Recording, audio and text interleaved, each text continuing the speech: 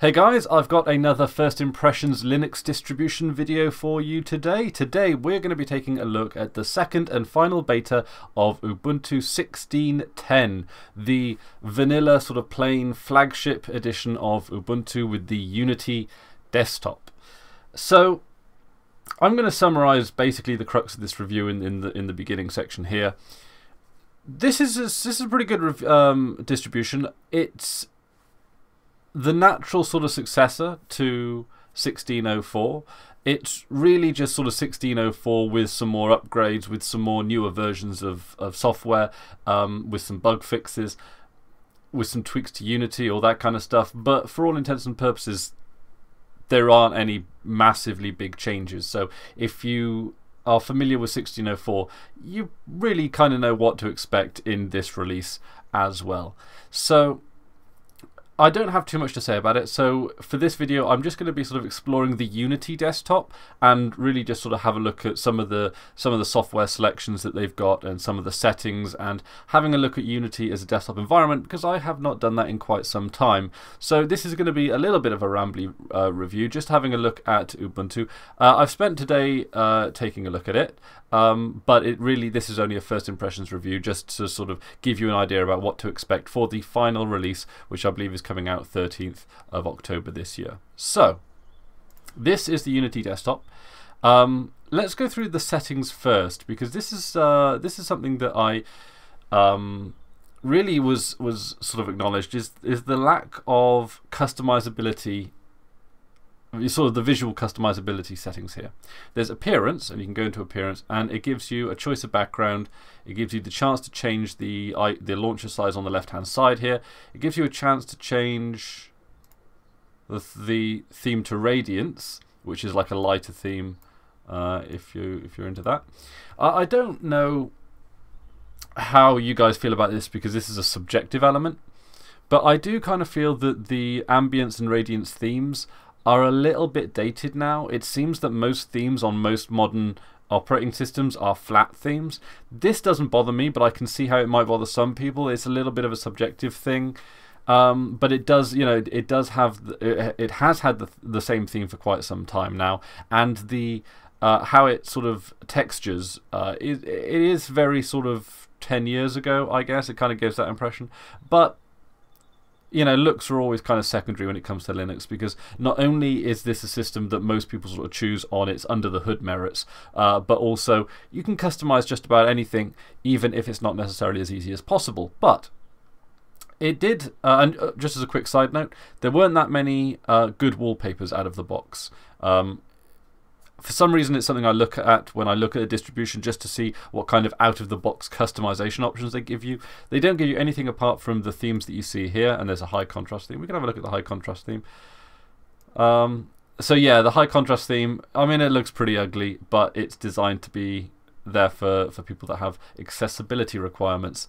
Um, but it doesn't seem to ch really change that much. It just seems to give you a bit of a garish toolbar more than anything else. Um, all right, well, you know, you get kind of points for effort there, but um, but that's perhaps not the most. Um, you know, that doesn't seem to offer too much, that, so that perhaps Radiance doesn't. But okay, so yeah, you've got a few. So there aren't that many customization options. Like you're basically looking at them. You could auto hide the launcher.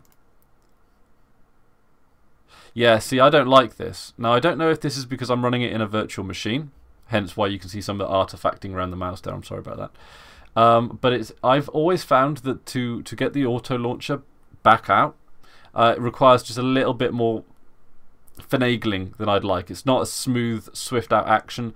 Um, which is why I would personally not have the auto hide on. What you can do, of course, is you can reduce the size of the launcher to about, or about 30 pixels, maybe. 32, 34, 36. So you can you can uh, you can reduce the amount of real uh, screen real estate that it uses. Also, if you notice, you maximize any window. Um, I'll just pull out Firefox here. Uh, you can see that the toolbar goes into the top of the menu bar right at the top here, giving you a lot of space to work with, when, particularly when you're browsing the internet. Um, I know that Chrome does this as part of their that you know they they do their own window borders or they have the option to do their own window borders and can save you a little bit of screen space there. But this gives you a full menu at the top here uh, without actually coming into uh, coming into the desktop. So that's pretty good. Uh, one thing I do notice is that you can't minimize by clicking the icons in the tray here. So I'm clicking the icon in the tray here. I cannot minimize it. I have to sort of minimize it using this button here. Generally not a big issue and possibly something they took out with because people were having uh, you know user interface issues the other way. But it does seem to I don't know. I, I maybe it's just an old habit that won't go away, but I do like minimizing windows. It's just, you know, put it to the side, think about it next time. There also don't appear to be uh, individual desktops here. i am going to be completely honest here. I keep two desktops open, and I very rarely ever even use the second one. So, um, so I can understand why they do that. There are very few customization options. I like this. I really, really like this. It's a flagship distribution, right? for the ability for, for first time Linux users to go in and customize the appearance, but without doing anything too much that they wouldn't know how to reverse it, this is about the amount of customization you really want. Like, you don't, you, you need maybe one or two, three themes for, uh, for your GTK apps and for that. You just need a couple of really good looking themes. And I'm guessing that, you know, I'm going to say Ambience and Radiance are good enough for that. They could be better. You could have Arc, something nice like Arc. If you want something textured, Vertex, that's a good theme. So, but for the most part, just just the ability to change the background wallpaper is great.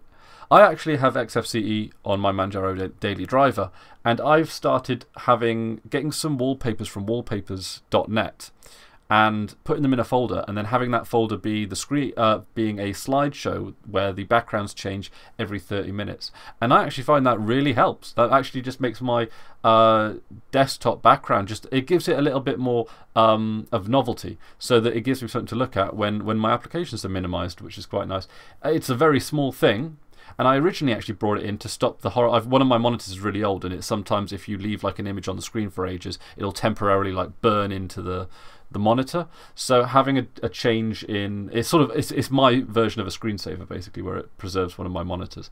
Anyway, I'm sort of derailing a little bit here. I do like the fact that they limit the customization options. There is a Unity tweak tool in the repositories that you can download and use, as I understand it. But I'm fine with this, really. Um, I believe at one point there was an option to put the launcher on the bottom. In it, oh, you can enable workspaces. Add the show desktop pipe icon to the launcher. Oh, that's okay. All right, that's good.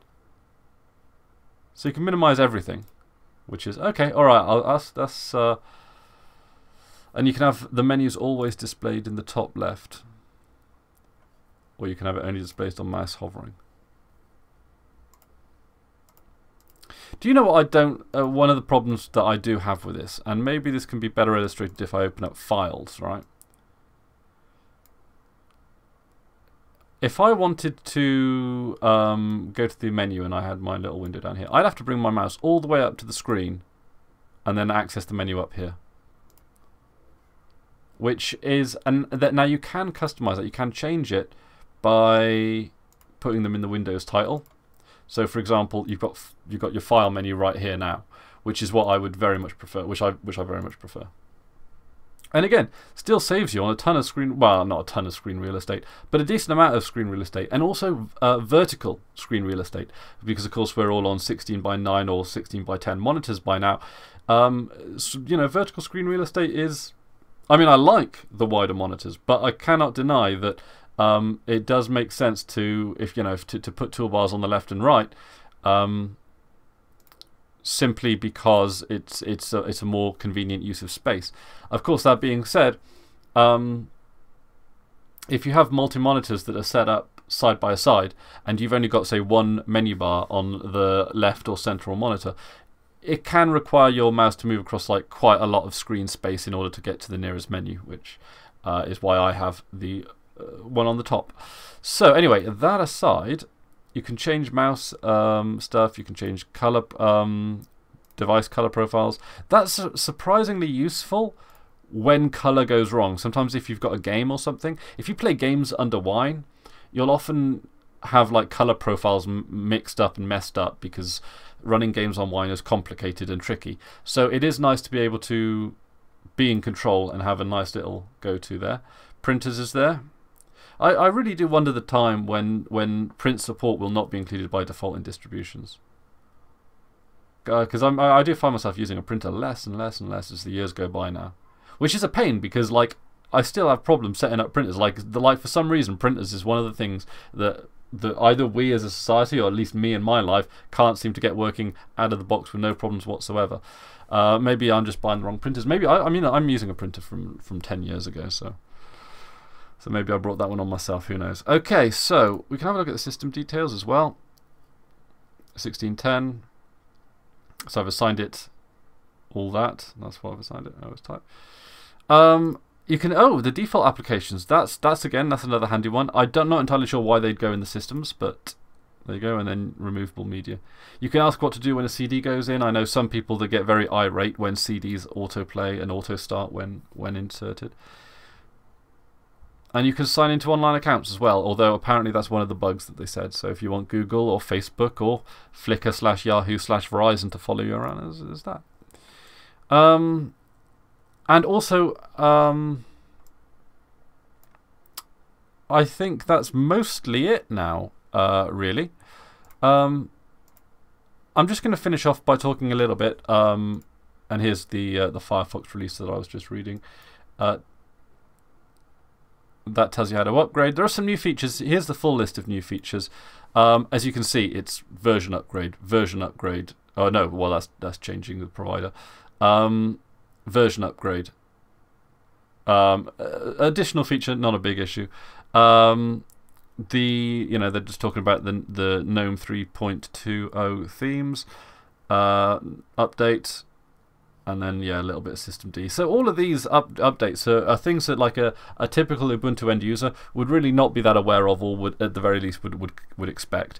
The known issues, not that many of them, and all of them it seems are expected to be worked out by by release.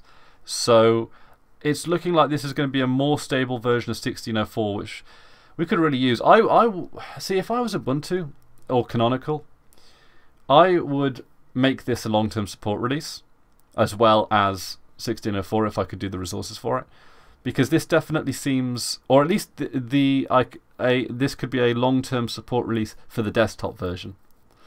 Um, because if you can fix that Wi-Fi issue, which was embarrassing for them as all hell, and they still haven't worked it out on on many chips. Um, you know, if they can, and it's I think it's just a mis mismatch with versioning. So if they did that, uh, if they manage to fix that, just make this a long-term support release. Let me just deploy it on people's laptops and then forget about it now because it's going to run out. It's going to run out. Uh, what has it got? Like 16 months of. Um, support, right? Uh, I don't even think it says on the beta press releases, uh, does it? Um, no, it just gives the release, doesn't it?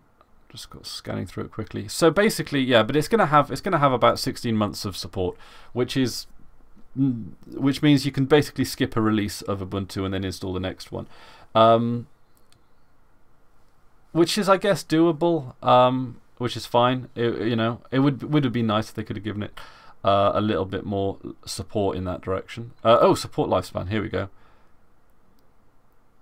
And the official the links to the official flavors. Okay. Um, and that's DistroWatch. So, all in all, this does actually look like a pretty solid release. Like I'm never, I've never been a Unity fan, and Unity is kind of uh, the big thing that's that that that this is this this is this sells itself on. Because you can just as easily go to Ubuntu Mate, Ubuntu GNOME, um, Ubuntu, uh, Kubuntu, uh, Xubuntu, Lubuntu. The spin offs are really good. They have been for a while now. But I got to admit, when it comes to a distribution that I, I, can, I can just put onto someone else's laptop, this is a solid contender. Because here's what I, I initially didn't like it because there was no easy way to access an application menu and it dictates your workflow too much. It dictates your workflow because it makes it tells you that you you need to have a keyboard and a mouse. This is a keyboard and mouse workflow. And if you are happy using a keyboard and mouse together in conjunction, then this is this is a fine user layout interface for you. Um, but that kind of workflow is, I mean, it is facilitated in KDE, it's facilitated in XFCE, it's, it's, it's, it's facilitated just about every Linux distribution, uh, uh, every desktop environment rather, because for most desktop environments, you can push um, Alt and F2 and it'll pull up something similar to this, which is a runner command type of affair, and then you can type something like, um, so if I wanted to type in Firefox, it will give me a list of the, the possible commands there. Uh, you can even do that just by pushing the Meta Windows control key, uh, not the as in the um, the command key rather, um, and then that brings up and you can search for applications there. So if you're looking for so you can obviously put an un, what seems to be like a, an unlimited number of favorites, uh, favorite applications along the left hand side here, and it gives you when you open up this menu for the first time or not for the first time, when you just click the, the Ubuntu logo, this is your most recently used applications.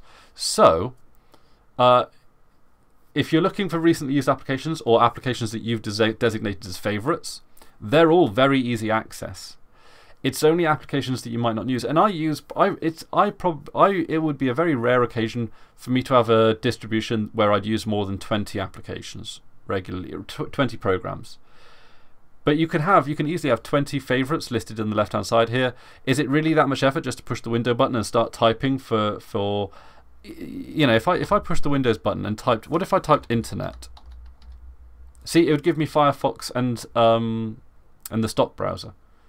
So the search seems to be really good. It seems to be really convenient. Um, and you know they dared to break the traditional desktop paradigm, and a lot of people, including myself, did not like that.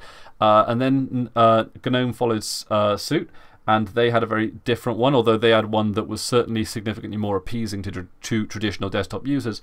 Um, and Unity kind of is trying to do a different thing to, to, to GNOME. GNOME are trying to make a, a, a, desktop environment that fits on every other distribution imaginable, whereas Unity is designed specifically for Ubuntu. And that, I suppose, is the chief issue I have with Unity now. It looks fine. There is actually there is a new feature here which they didn't um, put in the notes from the looks of it.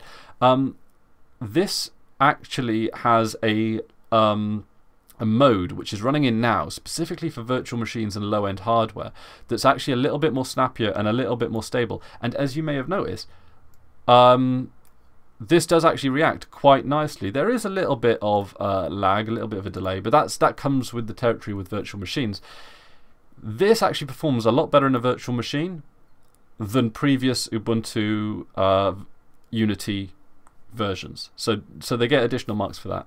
But my, my big issue with Unity is that it's only designed for the Ubuntu uh, operating system, really. Yes, with some finagling, you can put it into Arch, and I've seen Unity on Arch. But to be honest, if you're going to, to go for a Unity esque desktop paradigm on a non uh, Ubuntu uh, system, just go with with GNOME 3. Really, they they have a very similar kind of workflow. You know, th th there's not too much in it. Unity really is just a tweaked uh, GNOME 3 interface with with with more like a skimmed down, a lighter version of the GNOME 3 interface. Really. Um, I can't speak to performance, although they do seem to have actually improved performance for lower end hardware. But all in all, really quite a good release. Really something I'm quite enthusiastic about. Um, and Unity looks a lot better. Like, I would not be embarrassed to show this to people. This might not look like the cutting edge desktop that Unity looked like when it was initially released, but it looks good enough to work and it looks easy to use and it looks. Uh, it looks like what you know Linux needs as a, as a flagship distribution on the desktop. So I'm really quite happy with it. Uh, just um, here as well, I've got LibreOffice Writer. This just gives you a bit of an illustration about how LibreOffice Writer looks. Quite nice. And that comes all pre-installed. So they decided to bring a LibreOffice. I guess with with something like Unity, uh, with Ubuntu, that would be uh, expected. So you can have a look at all of your installed applications. It's just it just bundles them into one bloom. Everything all here. That's a lot. It's a lot. But it comes it comes with the standard offerings. So before I go, I just want to show you the Software Center, which is the GNOME Software Center, uh, I believe, but they rebranded it to be the Unity Software Center. So there's that. Um, I really like this as well. This is almost up there with the Mate software boutique. I like that the software boutique in, in Ubuntu Mate gives you a little bit more information on packages, but you know this is a good uh, software manager. You can update, of course, the individual applications or update them all. I quite like that.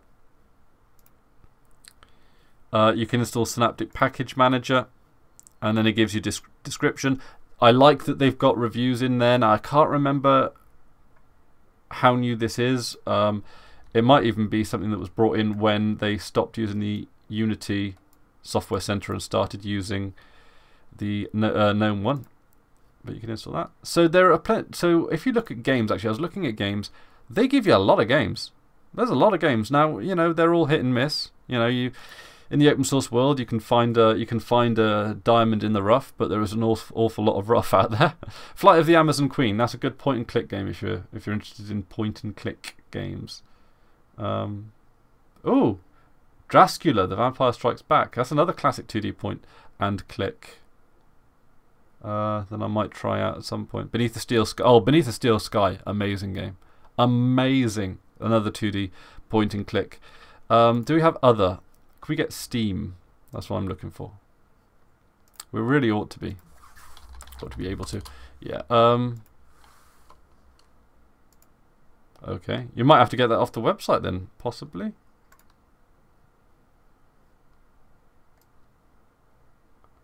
Right, so we go down...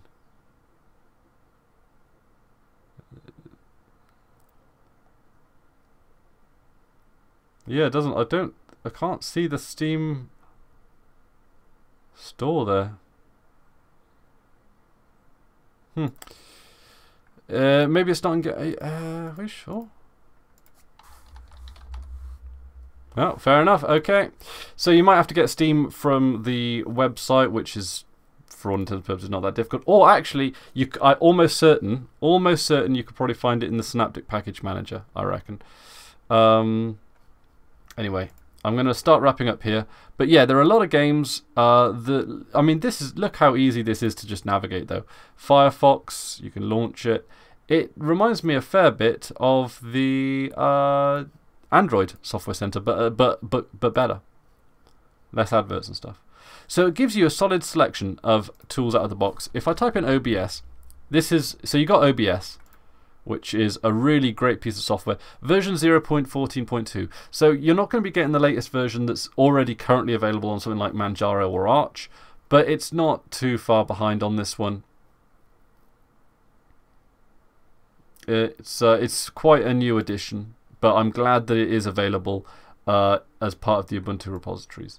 Uh, in fact, there are quite a few uh, applications here. It is worth having a browse in the Ubuntu store because there do appear to be a fair number of new uh, new uh, apps in the store as well. They seem to have been making an effort to to bring in uh, apps faster into the software store.